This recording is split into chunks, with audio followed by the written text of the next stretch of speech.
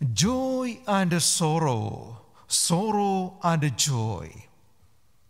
What is normal?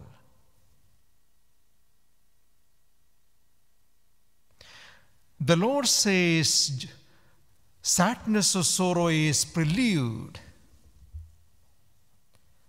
Prelude to joy. Sadness is a kind of preparation for the joy that follows.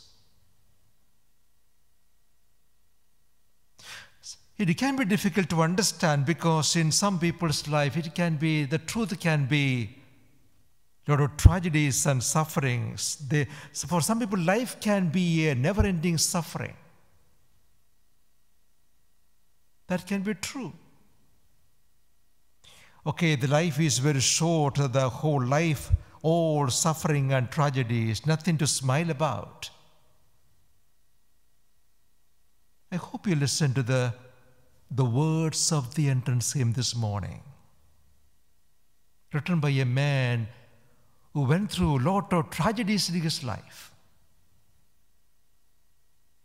Horatio Spafford. He died in 1871. The story you may know or you may not know. The story is he lost his son first, then he sent his wife and his four daughters to England on a ship. And there was a shipwreck, and all his daughters perished in the shipwreck. His wife survived.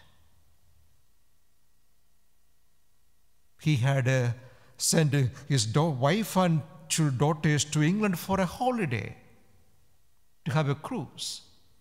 On the way, they perished. Okay, his wife survived. Here in the sad news, again, he gets into a on his way to England, those days by ship. And the ship passes through the place in the ocean where the shipwreck or the, the, the, the tragedy happened. And there he writes this song. So get the context right. A man who has been to tragedies writes these words of faith where the tragedy happened. It's all well with my soul. It's all well with my soul.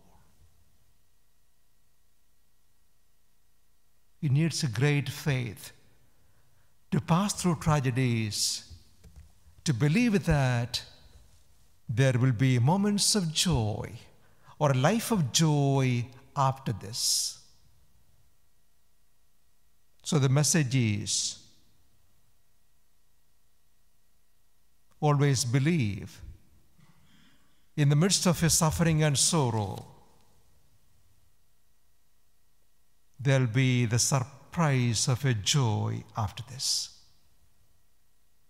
Difficult to believe and difficult to accept because in those moments of joy, it you are so much you are so disturbed and confused and you can't believe in the love of God. And how can you hold on to the love of God when you through, go through so much suffering in life? But still hold on. Because our faith is this God is love.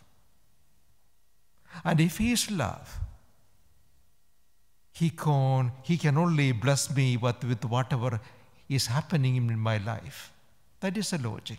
If God is love, and He will not allow anything that is bad for me, if that's what I believe, even these moments of sorrow too will be a prelude to the surprise of a joy that is beyond my understanding.